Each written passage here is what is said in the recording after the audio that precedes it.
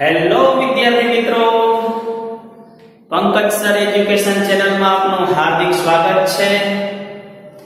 ધોરણ 12 રસાયણ વિજ્ઞાનની અંદર ડી વિભાગના તત્વો વિશે આપણે ચર્ચા કરી રહ્યા છીએ. આજે નેક્સ્ટ લેક્ચર બે નંબરનો લેક્ચર છે સંક્રાંતિ તત્વોના સામાન્ય ગુણધર્મો સમજાવો. સોરી સંક્રાંતિ તત્વોની અંદર 3D 4D 5D અને 6D શ્રેણી છે. 3D શ્રેણીની શરૂઆત સ્કેન્ડિયમથી થાય છે ઝિંક સુધી. 4D ની શરૂઆત થાય છે ઇટ્રિયમથી zinc, cadmium, mercury. Scandium yttrium lanthanum એના પરમાણ્વીય ક્રમાંક પણ ખબર છે, અત્યારે એની જરૂર નથી આપણે. ઓકે, આ આપણો ચોથો આવર્ત છે, પાંચમો આવર્ત છે, છઠ્ઠો આવર્ત છે.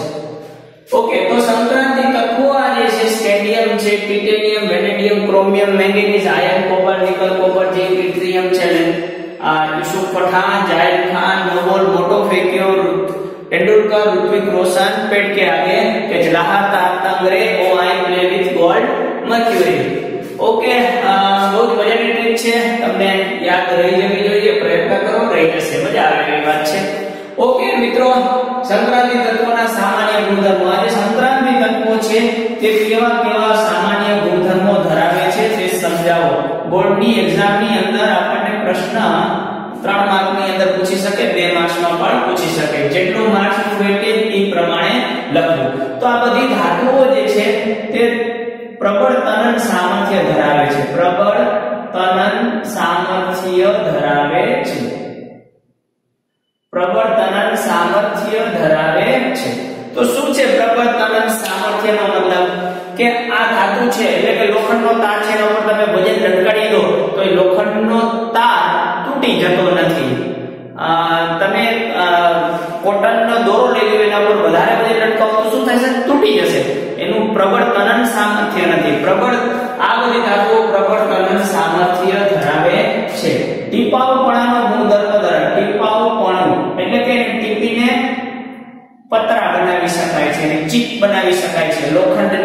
લોખંડને લોખંડના પતરા બનાવી શકાય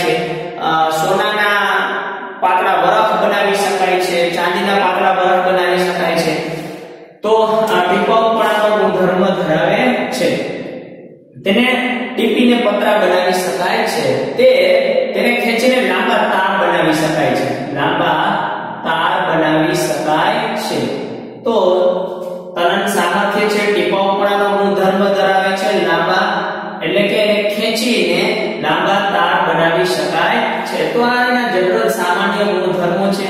આપણે એના વધુ ગુણધર્મોની અંદર ચર્ચા કરીએ તો ખાસ કરીને તેમાં ધાતુ ધાતુ બંધન, ધાતુ ધાતુ અંદર વિશેષ બંધન જોવા મળે છે.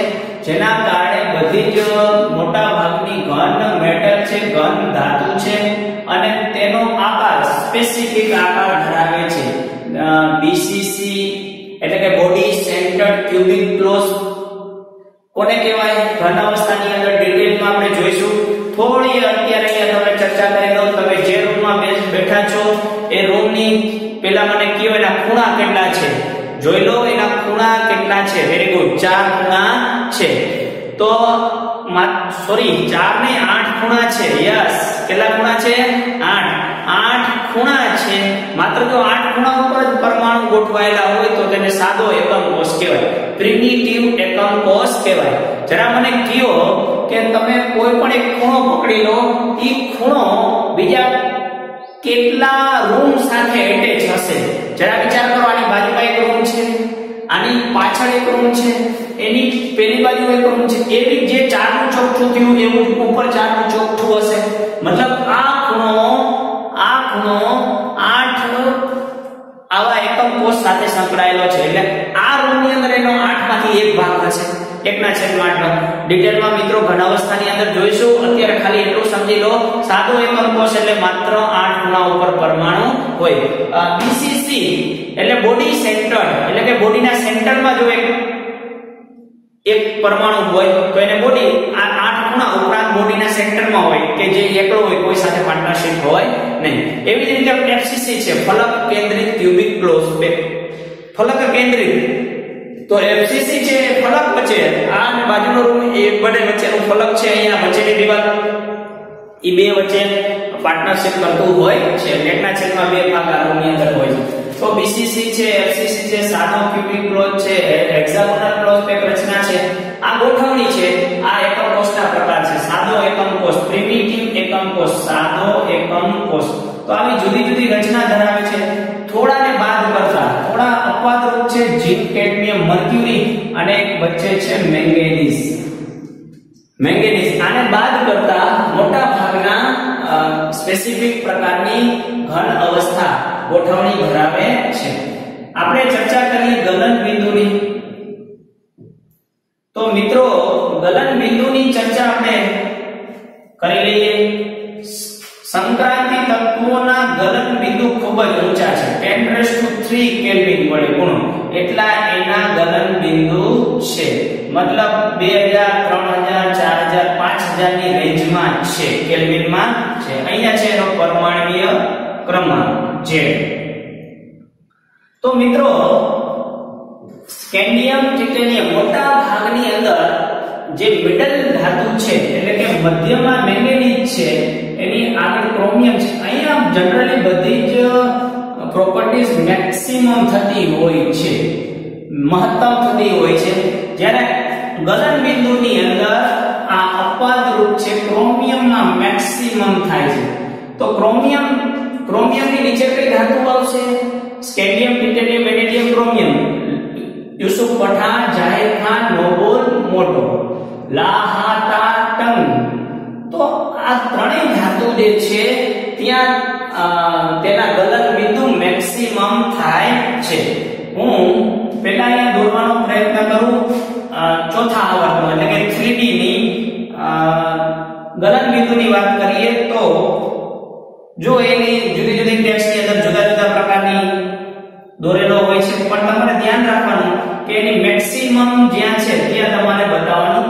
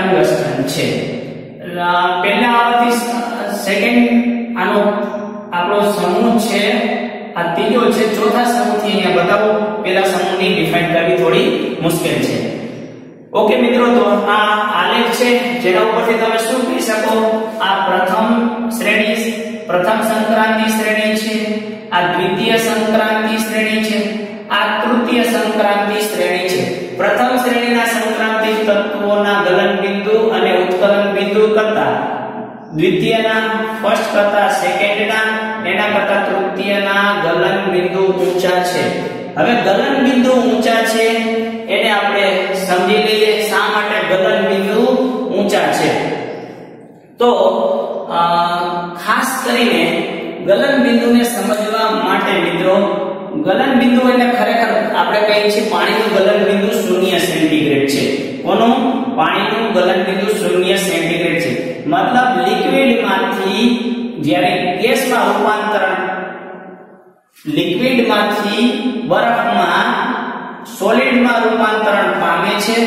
ત્યારે એનું ટેમ્પરેચર 0 સેન્ટીગ્રેડ છે. એટલે કે બસો તોતેર કેલ્વિન છે. એ એનું ગલન બિંદુ છે. તો ગલન બિંદુ એ ગલન બિંદુને સમજવા માટે અહીંયા ખાસ તમે જોઈ લો કે ગલન બિંદુને કેવી રીતે સમજી શકાય. તો પહેલી શ્રેણી કરતા બીજી શ્રેણી, એના કરતા ત્રીજી શ્રેણીના ગલનબિંદુ ઊંચા છે. તો ખાસ કરીને આની અંદર તમે જોઈ શકો છો કે ગલનબિંદુમાં 3D ઉપરાંત 3D કક્ષક છે, ઉપરાંત 4s કક્ષકમાં ઇલેક્ટ્રોન રહેલા છે.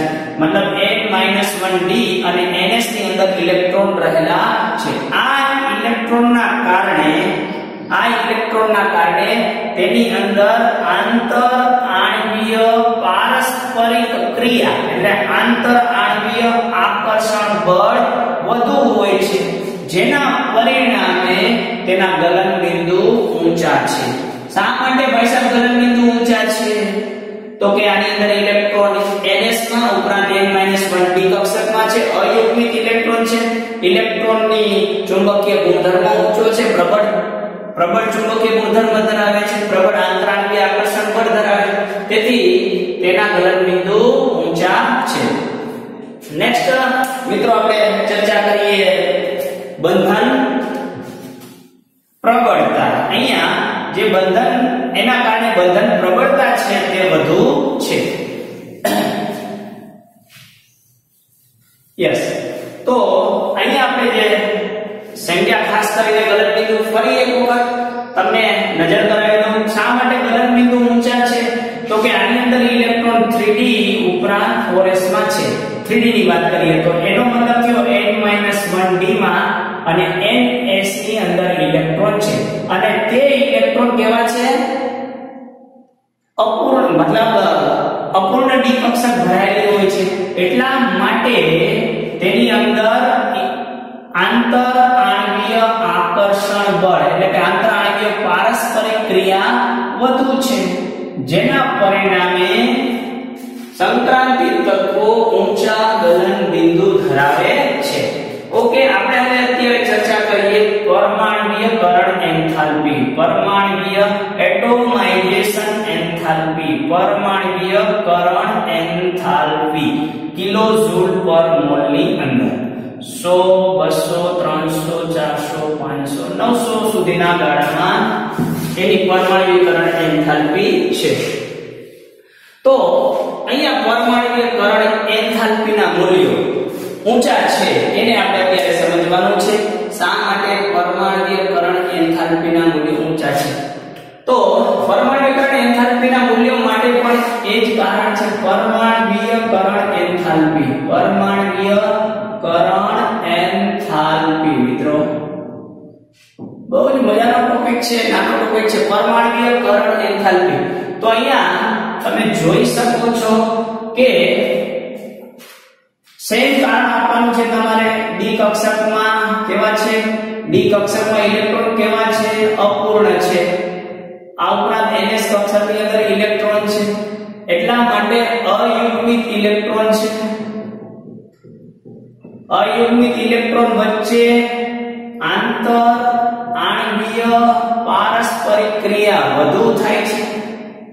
એટલે પરમાણુને તોડવા માટે પરમાણુને તોડવા વધુ ઊર્જા આપવી પડે છે. જેના કારણે તેની પરમાણુકરણ એન્થાલ્પી ઊંચી છે. શા માટે પરમાણુકરણ એન્થાલ્પી ઊંચી છે? તો એનું કારણ અહીંયા કહી દીધું આપણે. ડી ની અંદર અયુગ્મિત ઇલેક્ટ્રોનની સંખ્યા વધુ હોય છે. ડી કક્ષક ખાલી હોય છે, એવું પણ ઇલેક્ટ્રોન ઇલેક્ટ્રોન વચ્ચેના મતલબ અણુ, પરમાણુ પરમાણુ વચ્ચેનું આંતરાણકીય પારસ્પરિક ક્રિયા વધુ હોય છે. તેથી પરમાણુને તોડવા માટે ઊર્જા વધુ આપવી પડે છે. તો અહીંયા સ્કેન્ડિયમ માટે પેલા જેવો આલેખ દોરવાનો છે. અહીંયા પણ સેમ ધ્યાનમાં રાખવાનું છે કે અહીંયા આપણો મિડલ પાર્ટ છે manganese. Yttrium Isu Pathan Zaheer Khan noble મોટો તેંડુલકર લાહા તાટંગ રે. ઓકે, મેંગેનીઝ ટેક્નેશિયમ અને રૂથેનિયમ. આ મેંગેનીઝ, મેગ્નેશિયમ ને સોરી ટેક્નેશિયમ અને રેનિયમ એના પરમાણ્વીયકરણ એન્થાલ્પી ખૂબ જ વધુ છે. તો સમજો બરાબર, કારણ કે એની અંદર ડી માં d5 ઇલેક્ટ્રોન રચના છે. એટલે વધુ અયુગ્મિત ઇલેક્ટ્રોન છે. વધુ અયુગ્મિત ઇલેક્ટ્રોન છે. જેના પરિણામે આંતરાય આકર્ષણ બળ વધે છે. તેથી સૌથી વધારે મેગ્નેટિક મેંગેનીઝની છે 3d આવર્તની અંદર, અહીંયા ટેકનેશિયમની છે અને અહીંયા રેડિયમની છે. અહીંયા બધાની સેમ નજીક થઈ જાય છે. ખાસ કરીને પરમાણ્વીયકરણ એન્થાલ્પી ઝિંક, કેડમિયમ અને મર્ક્યુરીની ખૂબ જ ઓછી છે. અહીંયા પ્રશ્ન પૂછે કે પરમાણ્વીયકરણ એન્થાલ્પી ઝિંકની ખૂબ જ ઓછી છે, ખૂબ જ ઓછી છે. શા માટે? તો મિત્રો, ઝિંકની ઇલેક્ટ્રોન રચના લખો. ઝિંકનો પરમાણ્વીય ક્રમાંક છે 30 ઇલેક્ટ્રોન રચના છે આર્ગોન 3d10 4s2 3d10 એટલે કે ડી કક્ષક સંપૂર્ણ ભરાયેલી છે. તેથી ડી કક્ષક બંધનમાં ભાગ લેતી નથી. ડી કક્ષક ડી કક્ષક બંધનમાં ભાગ લઈ શકતી નથી. ડી કક્ષક ખાસ ધ્યાનમાં રાખો પરમાણુકરણ એન્થાલ્પી ઝીંકની શા માટે નીચી છે? ઝીંક કેડમિયમ મર્ક્યુરીની શા માટે નીચી છે? તો એનું ખાસ કારણ છે કે તેમાં ડી કક્ષક બંધનમાં ભાગ લઈ શકતી નથી. આની અંદર ડી કક્ષક ખાલી છે, એટલે ડી કક્ષક બંધનમાં ભાગ લે છે. સવર્ગ સહસંયોજક બંધ બનાવે છે. સવર્ગ સહસંયોજક બંધ બનાવે છે. અને જે સંયોજક બંધ કરતા પણ મજબૂત બંધ છે સવર્ગ સહસંયોજક બંધ. તો મિત્રો, એના કારણે પરમાણુકરણ એન્થાલ્પી ઊંચી છે. અહીંયા તમારી ટેક્સ્ટમાં ચર્ચા નથી કરી. તમે અહીંયા એ પણ કહી શકો કે વાન્ડર વાલ્સ ફોર્સ છે. તેના કરતા વાન્ડર વાલ્સ ફોર્સ સૌથી ઓછો હોય છે. આયન આયન ડાયપોલ એટલે કે ion ion ion ion dipole બોલે તો આયન આયન આકર્ષણ બળ છે. આયન દ્વિધ્રુવ છે દ્વિધ્રુવ દ્વિધ્રુવ છે. એના કરતા પણ સવર્ગ સહ અને ઇવન સહસંયોજક બંધ કરતા પણ પ્રબળ બંધ છે. તેથી તેને તોડવા માટે વધુ ઊર્જા આપવી પડે છે. પરમાણુમાં રૂપાંતરણ કરવા માટે વધુ ઊર્જા આપવી પડે છે. તેથી તેને તેની પરમાણુકરણ એન્થાલ્પીના મૂલ્ય ઊંચા છે. જ્યારે ઝિંકની અંદર તેની બાહ્યતમ ત્યાં તેની બાહ્યતમ કક્ષામાં સંપૂર્ણ ઇલેક્ટ્રોન એટલે કે ડી કક્ષક સંપૂર્ણ ભરાયેલી છે. તેથી ડી કક્ષક બંધનમાં ભાગ લઈ શકતી નથી. આપણે સવર્ગ સંયોજનની અંદર જોયું, નિકલ ટેટ્રા કાર્બોનિક મેટલ, ધાતુ અને લિગેન્ડ વચ્ચે બંધ બનાવે છે સવર્ગ સંયોજન. અહીંયા ડી કક્ષક ભાગ લઈ શકતી નથી. તેથી ડી કક્ષક ભાગ લઈ નથી શકતી. તેથી તે બંધ મજબૂત નથી. એને તોડવા માટે ઓછી ઊર્જા આપવી પડે છે. તેથી ઝિંકની ઝિંકની પરમાણુકરણ એન્થાલ્પી ઓછી છે. મજાનો ટોપિક છે. મિત્રો, પણ ઘણી વખત ટોપિકની અંદર તમે તમારી ટેક્સ્ટ કરતા પણ વધુ કારણ આપી શકો. કારણ કે એક કરતા બે મુદ્દાને વધારે જોઈન કરી શકો. છો સંક્રાંતિ તત્વોના સામાન્ય ગુણધર્મો. આપણે કેટલું જોયું અહીંયા ફરી એક વખત યાદ કરાવી દઉં. પહેલા તો ભૌતિક ગુણધર્મો જે છે કનન સામર્થ્ય છે, ટીપાઉપણાનો ગુણધર્મ ધરાવે છે, ખેંચીને લાંબા તાર કરી શકાય છે.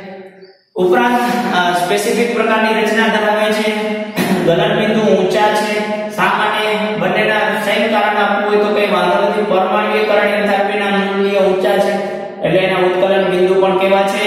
ઊંચા છે. નેક્સ્ટ આપણે જોવાનું છે પરમાણ્વીય ત્રિજ્યા અને આયનીય ત્રિજ્યા. સંક્રાંતિ તત્વોના પરમાણ્વીય ત્રિજ્યા અને આયનીય ત્રિજ્યા સમજાવો. સમજાવી દઈએ? પરમાણુ ત્રિજ્યા તો મિત્રો, અહીંયા તમે સંક્રાંતિ તત્વોમાં ડાબીથી જમણી બાજુ જાઓ. એટલે પરમાણુ ક્રમાંકનો વધારો થાય. પરમાણુય ક્રમાંકનો વધારો થાય. જરા ઇલેક્ટ્રોન રચનામાં નજર કરો 3d1 3d5 અહીંયા 3d1 3d2 3d3 3d4 3d5 મતલબ દાખલ થવાનો ઇલેક્ટ્રોન ક્યાં થાય છે? ડી કક્ષકમાં ઇલેક્ટ્રોન દાખલ થાય છે. અને ડી કક્ષક અહીંયા આ ન્યુક્લિયસ છે. એની ફરતી બાજુ ઇલેક્ટ્રોન ફરે છે. અહીંયા 3d કક્ષક દાખલ થાય. સંયોજકતા ઇલેક્ટ્રોન તમારા 4s માં છે. તો આ d ની શિલ્ડિંગ અસર d ની શિલ્ડિંગ અસર ખૂબ જ ઓછી છે. મિત્રો, શિલ્ડિંગ અસર સૌથી વધારે s ની e થી ઓછી બી ની e થી ઓછી d ની a થી ઓછી f ની. સૌથી શિલ્ડિંગ અસર f ની ઓછી છે. બરાબર સમજો અહીંયા? શિલ્ડિંગ અસર એટલે પડદા રૂપ અસર. બરાબર સમજો? શું કહેવા માંગે શિલ્ડિંગ અસર? બહુ મજાનો ટોપિક છે. શિલ્ડિંગ અસર. આના આધારે તમે ઘણા બધા પ્રશ્નોના જવાબ શિલ્ડિંગ અસર શું છે? બરાબર સમજો? શિલ્ડિંગ અસરનું બીજું નામ છે પડદારૂપ અસર મિત્રો, આ ફોરેસ્ટ કક્ષકનો ઇલેક્ટ્રોન છે, જેને આપણે સંયોજકતા ઇલેક્ટ્રોન કહીએ છીએ. આ સંયોજકતા ઇલેક્ટ્રોનનું કેન્દ્ર પ્રત્યેનું આકર્ષણ. સોરી 3D કક્ષકની શિલ્ડિંગ અસર નબળી છે નહીવત ઓછી છે. એના કારણે ફોરેસ્ટના ઇલેક્ટ્રોનનું કેન્દ્ર પ્રત્યેનું આકર્ષણ વધે છે. શા માટે કે 3D ની 3D કક્ષકની શિલ્ડિંગ અસર ઓછી. છે એટલે ફોરેસ્ટને પડદારૂપ અસર બહુ ઉત્પન્ન કરશે નહીં. એના માટે સિમ્પલ ઉદાહરણ લ્યો. તમે એક પાતળો કાગળ લો, એના ઉપર લોખંડનો ભૂકો નાખો, નીચે ચુંબકને ફેરવો. લોખંડનો ભૂકો ફરશે. એક લાકડાની શીટ લો, એના ઉપર લોખંડનો ભૂકો નાખો, નીચેથી ચુંબક ફેરવો, ફરશે નહીં. સામાન્ય લાકડાની શીટ જાડી થઈ ગઈ પડદારૂપ અસર વધી શિલ્ડિંગ અસર વધી એટલે લોખંડનું અને ચુંબક વચ્ચેનું આકર્ષણ ઘટ્યું. તો અહીંયા 3D કક્ષકની શિલ્ડિંગ અસર નહીવત હોવાના કારણે સામે કેન્દ્રનો ધન વીજભાર વધે, કેન્દ્રનો ધન વીજભાર વધતો જાય છે, કેન્દ્રનો ધન વીજભાર વધે છે. મતલબ, અહીંયા 21 પ્રોટોન છે, એની જગ્યાએ આમ જાવ તમે ડાબી બાજુ થી જમણી બાજુ, એટલે પ્રોટોનની સંખ્યા વધતી જાય છે. મતલબ, કેન્દ્રનો ધન વીજભાર વધે છે. અને 3D કક્ષકની નબળી અસરના કારણે ફોરેસ પ્રત્યેનું નેટ આકર્ષણ વધે છે. ને એટલે ચોખ્ખું આકર્ષણ વધે છે. તેની પરિણામે એને પરિણામે તમે આવર્તમાં ડાબીથી જમણી બાજુ જાઓ, તેમ પરમાણ્વીય ત્રિજ્યા ઘટે છે. રેગ્યુલર ટ્રેન્ડ છે આપણો. પરમાણ્વીય ત્રિજ્યા ઘટે છે.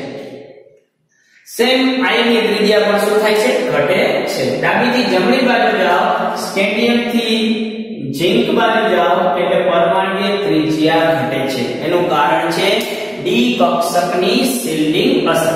બરાબર શિલ્ડિંગ અસર સમજાઈ ગઈ? ઓકે રેગ્યુલર ટ્રેન્ડ છે પરમાણ્વીય ત્રિજ્યા. ફરીથી એક વખત સમજાવી દઉં મિત્રો. શિલ્ડિંગ અસરનો ક્રમ સૌથી વધારે શિલ્ડિંગ, સૌથી વધુ શિલ્ડિંગ અસર S ની છે E થી ઓછી P થી ઓછી D થી ઓછી F. સૌથી ઓછી શિલ્ડિંગ અસર છે F ની પડદારૂપ અસર. બાહ્યતમ કક્ષાના ઇલેક્ટ્રોનની કેન્દ્ર પ્રત્યેના આકર્ષણમાં F કક્ષક સૌથી ઓછી અસર ઉપજાવે છે. મતલબ બાહ્યતમ કક્ષાનું કેન્દ્ર પ્રત્યેનું આકર્ષણ વધારે છે. 4F વચ્ચે હોય તો અહીંયા 3D છે. તો 3D ની શિલ્ડિંગ અસર નબળી છે. એથી પણ F નબળી છે.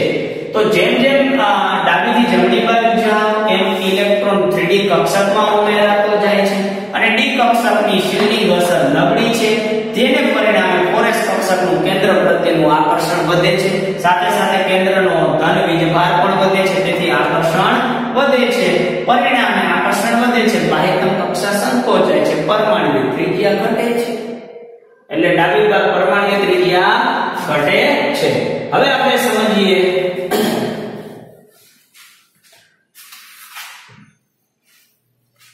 પરમાણ્વીય ત્રિજ્યા અહીં આપણે પરમાણ્વીય ત્રિજ્યા પરમાણ્વીય ક્રમાંક વિરુદ્ધ પરમાણ્વીય ત્રિજ્યા નો આલેખ જોઈએ. તો પરમાણ્વીય ત્રિજ્યા ઘટે છે. અહીંથી હું કોઈ સ્કેન્ડિયમથી સ્ટાર્ટ કરું.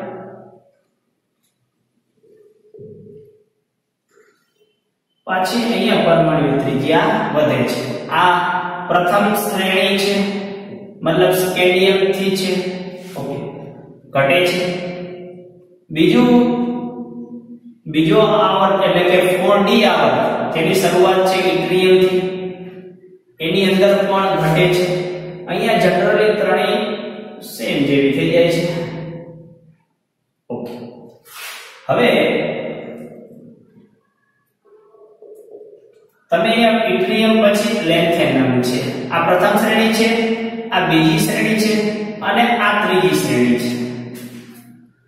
તો સ્ટેડિયમથી ઇટ્રિયમ આવો, પરમાણ્વીય ક્રમાંક વધે છે. ત્યાંથી લેન્થેનમ આવો, પરમાણ્વીય ક્રમાંક વધે છે. બરાબર, પરમાણ્વીય ક્રમાંક વધે છે. અહીંયા, કારણ કે અહીંયા 3D છે 4D છે અને અહીંયા 5D છે. નવા ઇલેક્ટ્રોન નવા કોષમાં દાખલ થાય છે. ઇલેક્ટ્રોન નવા કોષની અંદર અહીંયા 3D માં દાખલ થાય છે, અહીંયા 4D માં દાખલ થાય છે, અને અહીંયા, એટલે કે અહીંયા 5D ની અંદર દાખલ થાય છે. બરાબર છે. તો પરમાણ્વીય ત્રિજ્યા ઉપરથી નીચે તરફ જઈએ એમ વધે છે. બરાબર છે. સ્કેલિયમથી ઇટ્રિયમ જઈએ, સ્કેલિયમ કરતા ઇટ્રિયમની પરમાણ્વીય ત્રિજ્યા વધારે એના કરતા લેન્થેનમની વધુ છે.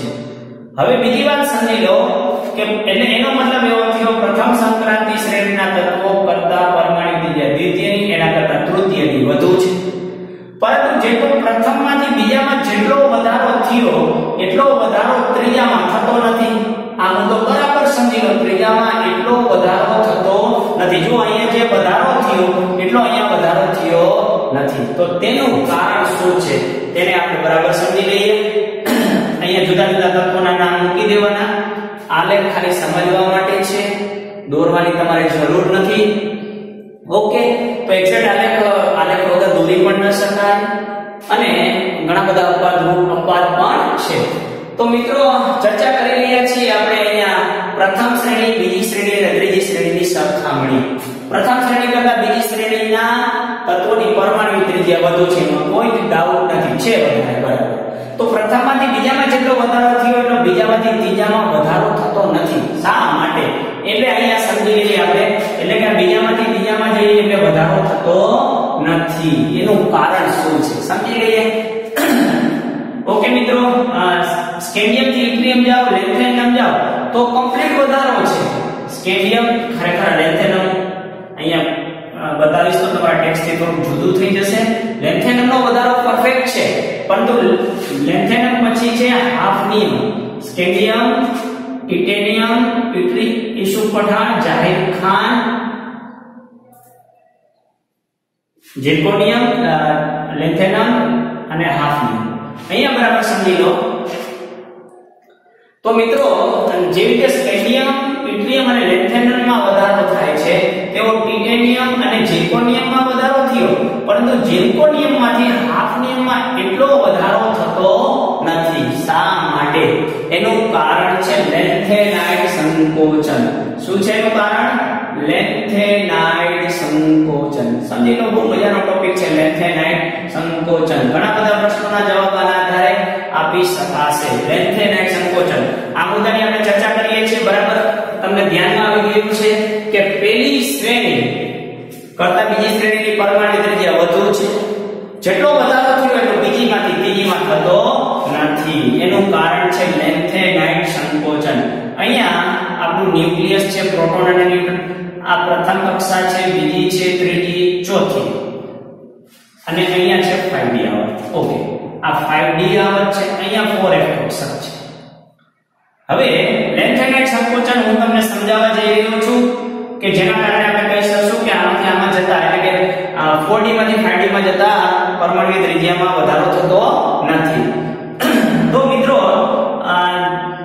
લેન્થેનમથી હાફનિયમ તરફ જાઓ ત્યારે અહીંયા 4f કક્ષક આવે છે. આનો પરમાણુ ક્રમાંક છે 57 57 થી બાકીના 58 બીજા 14 છે ઇલેક્ટ્રોન 1 થી 14 ઇલેક્ટ્રોન ક્યાં ભરાય છે? 4f કક્ષકમાં 4f કક્ષકમાં ભરાય છે. અને 4f કક્ષકની શિલ્ડિંગ અસર કેવી છે? ખૂબ જ નબળી છે. ખૂબ જ ડી કરતા પણ નબળી છે. ખૂબ જ નબળી છે. જેના કારણે જેના કારણે 5d ના ઇલેક્ટ્રોનનું કેન્દ્ર પ્રત્યેનું 5d નું કેન્દ્ર પ્રત્યે 5d ના ઇલેક્ટ્રોનનું કેન્દ્ર પ્રત્યેનું આકર્ષણ વધે છે. મિત્રો, શું થાય છે? વધે છે. આકર્ષણ વધે છે. જેના પરિણામે સંકોચન બાહ્યતમ કક્ષા 5d નું સંકોચન થાય છે. જેના પરિણામે 5d નું સંકોચન થાય છે. જેને આપણે લેન્થેનાઇટ સંકોચન તરીકે ઓળખીએ છીએ. તો લેન્થેનાઇટ સંકોચનના કારણે 4d થી 5d માં જતા પરમાણ્વીય ત્રિજ્યામાં એટલો વધારો થતો નથી. તો બહુ જ મજાનો ટોપિક છે લેન્થેનાઇટ સંકોચન. ફરી એક વખત સમજાવી દઉં મિત્રો. પછી અહીંયા ફોરેન કક્ષક 0 છે. એટલે અહીંયા સ્કેન્ડિયમથી ઇન્ડિયમથી લેન્થેનમ વધે છે. પરંતુ ટિટેનિયમથી ઝિર્કોનિયમથી હાફનિયમ એટલે ઝિર્કોનિયમ અને હાફનિયમ નો ઓલમોસ્ટ સેમ છે. આની 160 ઉલટાની વધે છે. 159 pm છે. આની 160 pm છે. તમે જોઈ શકો છો ઝિર્કોનિયમ અને હાફનિયમની પરમાણુ ત્રિજ્યા લગભગ સમાન છે. શા માટે? એનું કારણ છે લેન્થેનાઇટ સંકોચન. શું છે? ભાઈ સાહેબ ઝિર્કોનિયમ નિયમથી આપ નિયમમાં જઈએ, એટલે કે લેન્ટેનમથી આપ નિયમ જે હાફનિયમ જઈએ, ત્યારે નવો દાખલ થવા વાળો ઇલેક્ટ્રોન 4f કક્ષકમાં થાય છે. 14 ઇલેક્ટ્રોન સુધી 4f માં થાય છે અને 4f કક્ષકની સેન્ડિંગ અસર કેવી છે? નબળી છે. આને સેન્ડિંગ અસરની ઇંગ્લિશમાં સ્ક્રીનિંગ અસર. પડદારૂપ અસર ગુજરાતીમાં પણ કહેવામાં શિલ્ડિંગ એટલે પડદારૂપ અસર. નહીવત છે એટલે આ પડદો આછો છે. સમજી લો આના માટે 5D માટે. એટલે 5D નું કેન્દ્ર પ્રત્યેનું આકર્ષણ વધે છે. જેના પરિણામે બાહ્ય તંતુક્ષાર 5D સંકોચાય છે, જેને લેન્થેનાઇટ સંકોચન કહે છે. જેના કારણે પરમાણુની ત્રિજ્યામાં ઘટાડો થાય છે. 159 ઘટાડો થાય છે. આ આ અંકમાં થોડો ઘણો આગો પાછો હોઈ શકે, આ 160 159 હોઈ શકે છે. એક્ઝેક્ટ અંકો સાથે મને પ્રોબ્લેમ છે. છતાં પણ કહી દઉં તમને મિત્રો, કે આ રીતે પરમાણુ ત્રિજ્યા ઘટે છે. એનું કારણ છે લેન્થેનાઇટ સંકોચન. આ જે બહુ ડિફરન્સ નથી. એનું કારણ છે લેન્થેનાઇટ સંકોચન. આ મજાનો ટોપિક છે. ઘણી બધી વાતો છે. એક ટોપિક નાનો લઈ લો ઘનતા. મિત્રો, ઘનતા એટલે શું છે? ઘટના છેદમાં પર હવે તમે મને કહો કે ડાબીથી જમણી બાજુ જાઓ. એ પરમાણુ ત્રિજ્યા શું થાય છે? ઘટે છે. એટલે એનો મતલબ થયો કદ ઘટે છે. બરાબર છે? કદ ઘટે ઓકે. કદ ઘટે છે એટલે મતલબ છેદ તમારો કદ. ઘટતો જાય છે. તો તમે ઘનતા માટે ડાબીથી જમણી બાજુ જાઓ. સ્કેન્ડિયમથી ટિટેનિયમ કોપર સુધી જાઓ. જીન થોડો કપાત છે, એનું કારણ પણ કહી દઉં તમને. સ્કેન્ડિયમથી કોપર સુધી જાઓ. એમ પરમાણ્વીય ત્રિજ્યા ઘટે છે. એટલે છેદ ઘટે છે. દળ તો વધતો જાય છે રેગ્યુલર છેદ ઘટતો જાય છે. એનો મતલબ આનો જવાબ એટલે ઘનતા વધે છે. ઘનતા વધે છે. બરાબર સમજી લો ઘનતા વધે છે. ક્યાં સુધી? કોપર સુધી. પણ ઝીંકની ઘનતા ઘટે છે. ઝીંક, કેડમિયમ અને મર્ક્યુરી એની ઘનતા ખૂબ જ ઓછી છે. શા માટે? ઘનતા શા માટે ઓછી છે? તો કે ઝીંક છે એની અંદર 3D કક્ષક. એટલે કે આ ત્રણેયની અંદર ડી કક્ષક સંપૂર્ણ ભરાયેલી છે. તે બંધનમાં ભાગ લેતી નથી. મિત્રો, બંધનમાં ભાગ લેતી નથી એટલે એનું આંતરઆણ્વીય આકર્ષણ બળ ઓછું છે. એટલા માટે ઝીંકના પરમાણુ જુદા જુદા ગોઠવાયેલા હશે. જુદા જુદા ગોઠવાયેલા હશે. એટલે કે દળની સાપેક્ષે કદ વધે છે. એટલે ઘનતા દળની સાપેક્ષે કદ વધે છે અહીંયા, મિત્રો, ફરીથી પરમાણુ ત્રિજ્યા પહેલા મુદ્દાને ફરીથી એક વખત પરમાણુ ત્રિજ્યા ઘટે છે. એટલે કદ ઘટે છે, છેદ ઘટ્યો એટલે અંશ વધ્યો એટલે ઘનતા વધી. ઓકે. અહીંયા 3D કક્ષક સંપૂર્ણ ભરાયેલી છે, બંધનમાં ભાગ લેતા નથી, આંતરઆણ્વીય આકર્ષણ બળ ઓછું છે. એટલે કે તમે જુઓ, આંતરઆણ્વીય આકર્ષણ બળ ઓછું જેની અંદર હોય. દાખલા તરીકે અહીંયા સમજી લો આણ્વીય આકર્ષણ બળ વધુ અહીંયા મધ્યમ અને અહીંયા ખૂબ જ ઓછું. તો અહીંયા આંતરાંડીય આકર્ષણ બળ ઓછું છે, એટલે એની ઘનતા ઘનતા વધુ છે. આંતરાણ્વીય આકર્ષણ પણ ઓછું. આ મર્ક્યુરી પ્રવાહી છે, તમને ખબર છે મિત્રો? આ બંને સોફ્ટ ધાતુ છે, નરમ ધાતુ છે. તો જેના કારણે એની ઘનતા પ્રવાહી છે, આ ઘન છે. ઘનની ઘનતા કેવી હોય? ઘનની ઘનતા આ પ્રવાહી છે, એની ઘનતા વધે છે, અહીંયા ઘનતા વધે છે, અહીંયા ઘનતા ઘટે છે. ફરી એક વખત કોઈ જ ઘટાડો કરવાનું કારણ નથી. ફરીથી એક વખત ટાઈમ પણ ચાલ્યો થઈ ગયો છે. પરમાણ્વીય ત્રિજ્યા મિત્રો, ઘટે, ઘનતા વધે છે. બરાબર સમજી લીધું અહીંથી? બરાબર. પણ અહીંયા છેલ્લા સમૂહ માટે, ડી વિભાગના ઝીંક ના સમૂહ માટે અપવાદરૂપ છે, એનું કારણ છે ડી સંપૂર્ણ ભરેલી છે. આંતરાણ્વીય આકર્ષણ બળ ઓછું છે ઝીંક પ્રવાહી છે સોફ્ટ ધાતુ છે, એટલે એની ઘનતા ઓછી છે. ઘનતા ઓછી છે. તો મિત્રો, અહીંયા જ આ ચેપ્ટર આ લેક્ચરને વિરામ આપીએ. નેક્સ્ટ લેક્ચરની અંદર મળશું અને તેના ગુણધર્મો, રાસાયણિક ગુણધર્મો વિશે વધુ જોઈશું. Thank you very much